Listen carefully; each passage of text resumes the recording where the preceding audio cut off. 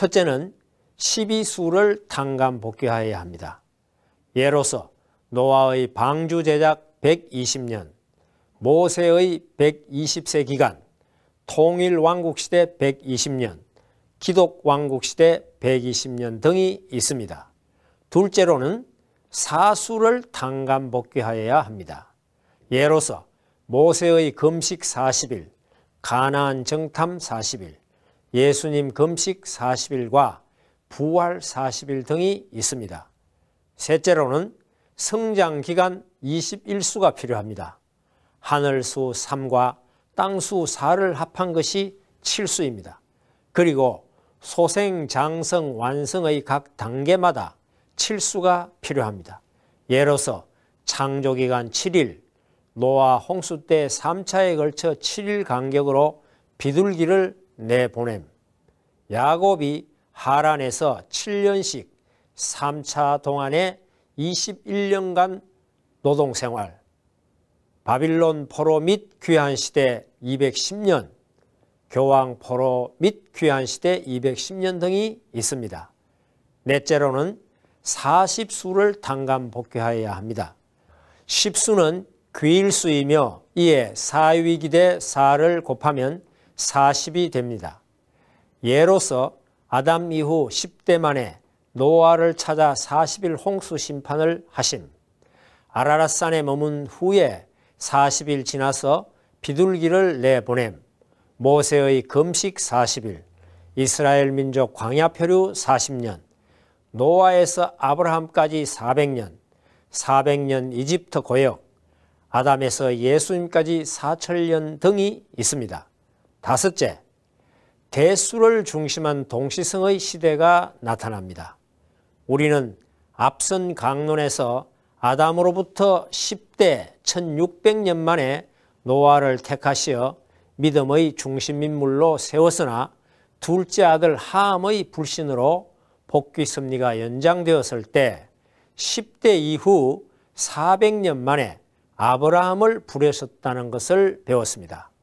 여기에서 1600년과 10대는 어떤 탕감 복귀 기간의 수적인 의미를 가지고 있는지 잠깐 알아보겠습니다.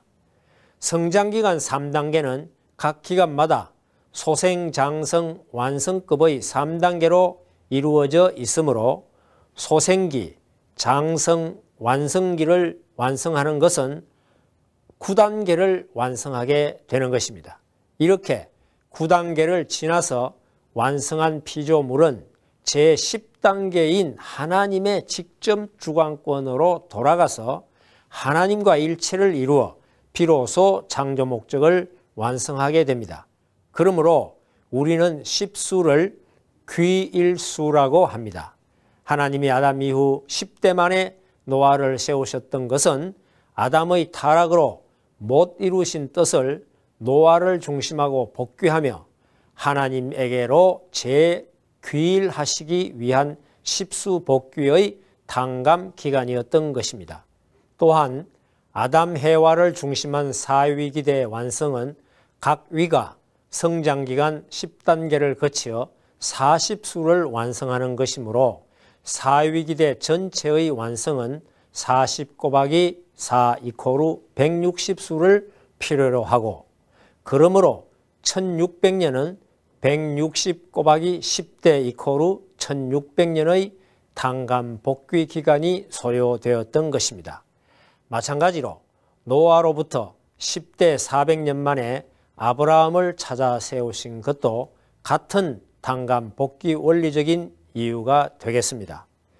1600년 10대가 400년 10대로 된 것은 노아 이후의 인간의 수명이 단축되었기 때문이라고 성경은 전하고 있습니다. 지금까지 말씀드린 내용을 틀어하여 이제 섭리적 동시성 시대에 관한 전체적인 조감을 한번 해 보도록 하겠습니다. 화면에 나타나는 섭리적 동시성 시대의 대조표를 참조하면서 말씀드리도록 하겠습니다. 아담으로부터 노아를 거쳐 아브라함, 이삭, 야곱 노정에 이르는 이 6단계의 기간을 일러 소생복귀 기대 섭리 시대라고 합니다. 동시성으로는 상징적 동시성 시대이며 이 기간은 메시아를 위한 가정적 판도의 기대를 조성하는 기간인 것입니다. 제2단계는 아브라함의 후손인 야곱의 열두 아들과 70 가족이 애굽으로 들어간 후 모세를 따라 출애굽하여 가나안에 입성한 후 예수님이 오시기까지의 6단계 2000년 기간입니다. 이 시대를 일러 장성 복귀 섭리 시대라고 합니다. 동시성으로는 형상적 동시성 시대이며 이 기간은 메시아를 위한 민족과 국가적 판도의 기대를 조성해야 하는 기간이었습니다. 다음은 예수님 때로부터 기독교 성도들이 중심이 되어 진행된 6단계 2000년 기간입니다. 이 기간은 기독교 성도들이 예수님의 재림을 고대하면서 온갖 박해를 무릅쓰고 땅끝까지 천국 복음을 전파하라 하신 예수님의 유언에 순종해온 기간이기도 합니다. 이 시대를 일러 완성 복귀 섭리 연장 시대라고 합니다. 동시성으로는 실체적 동시성 시대이며 이 기간은 메시아를 위한 세계적 판도의 기대를 조성하는 기간인 것입니다. 이 도표에 보시는 바와 같이 하나님의 탄감 복귀 섭리 역사도 하나님의 천지 창조 6일간의 창조 단계와 같은 육수 창조의 원칙에 따라 행하시고 또 소생, 장성, 완성 3단계 완성의 원칙이 그대로 적용되고 있음을 알 수 있습니다.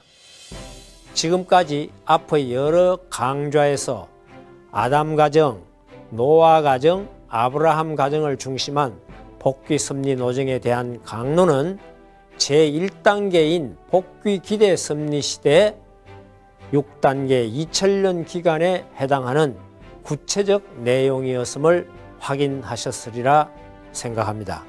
다음 강좌에서 그 이후 복귀 섭리 시대와 복귀 섭리 완성 시대에 관해 말씀드리도록 하겠습니다. 감사합니다.